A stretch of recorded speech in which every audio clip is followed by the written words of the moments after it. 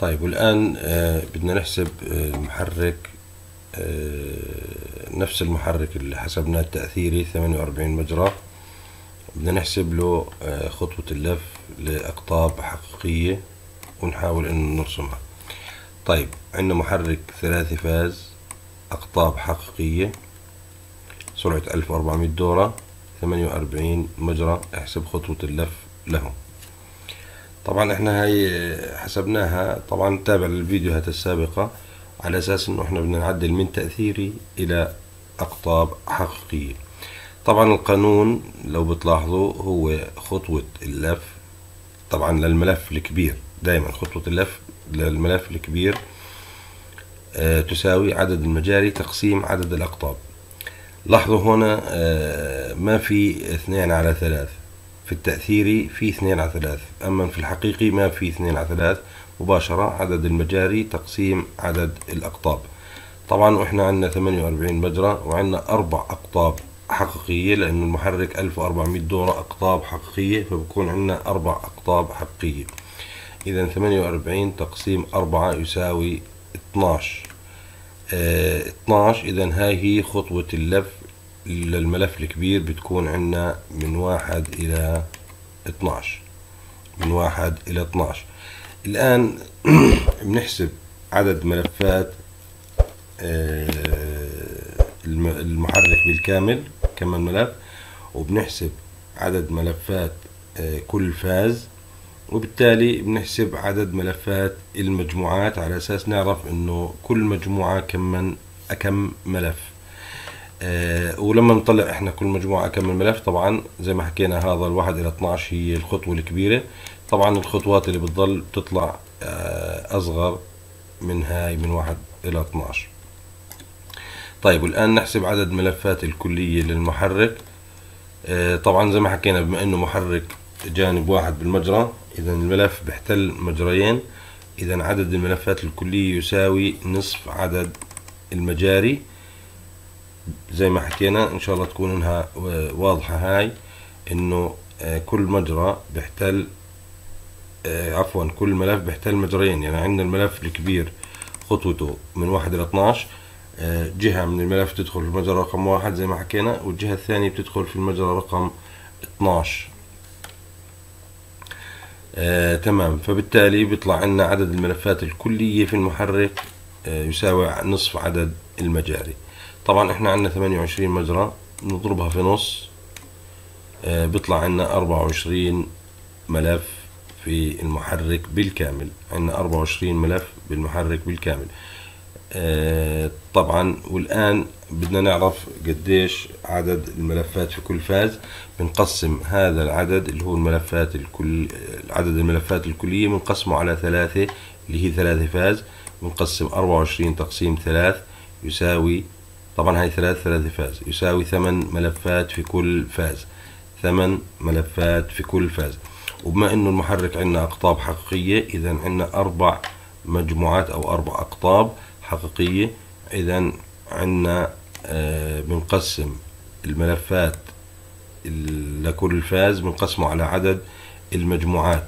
اللي هو عندنا أربع مجموعات في الاربع أقطاب الحقيقية. اذا عدد ملفات الفاز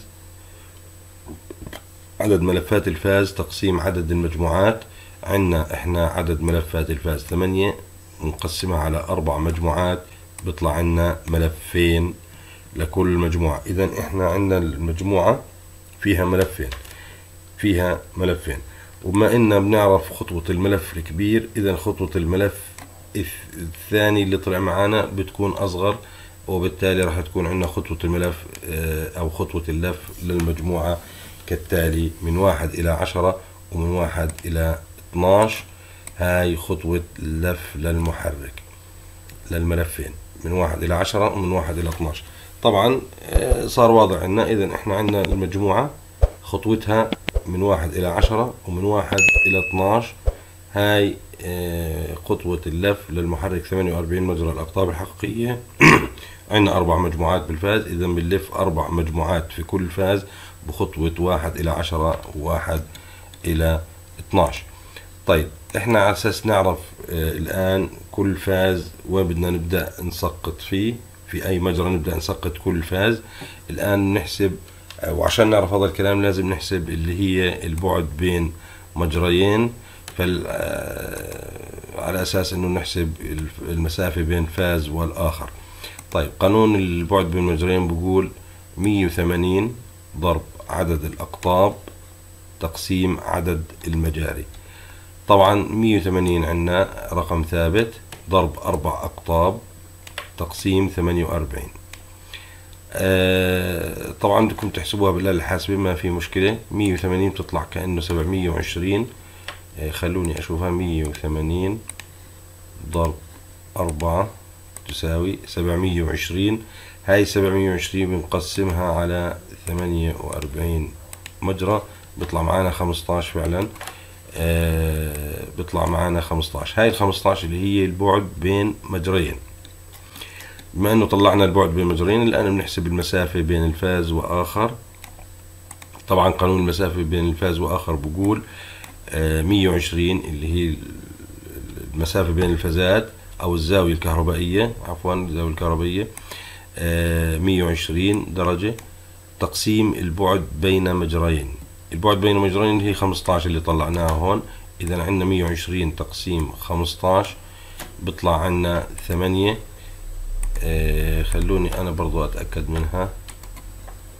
آه 120 تقسيم 15 تساوي فعلا 8 آه طبعا ثمان مجاري بين فاز وآخر.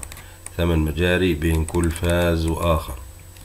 اذا بصير عندنا إحنا بين كل فاز وفاز ثمان مجاري. اذا الفاز الأول يبدأ في المجرى رقم واحد.